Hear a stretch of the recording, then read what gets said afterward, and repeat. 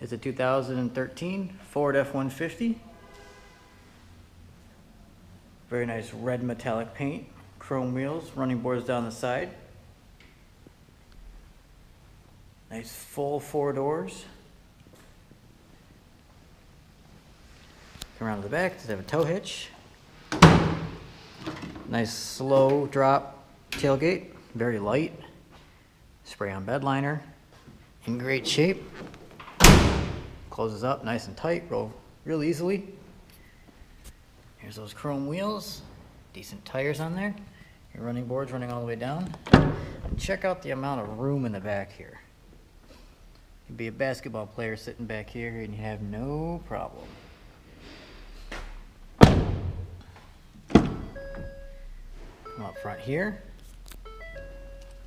Your basic controls on the door, power seat, and manual as well. Step on up. This has this truck has just under 45,000 miles. In great shape. Your climate control buttons, your stereo, all your menus and everything that are on the in the center here. Plenty of things to choose from.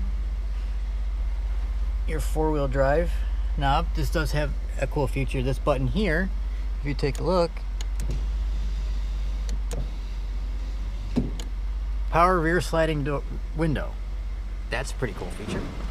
Let's go check out underneath the hood. This is an XLT model. So is very nice. Again, there's the chrome wheels, decent tires. Rock around the front. There's that chrome grille again.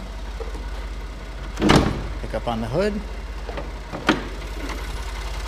And there's that 3.5 liter Ecotec V6. Or I'm sorry, EcoBoost.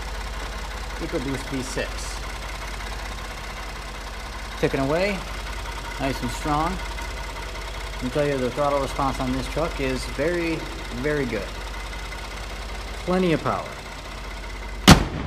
That is a 2013 Ford F-150 XLT EcoBoost.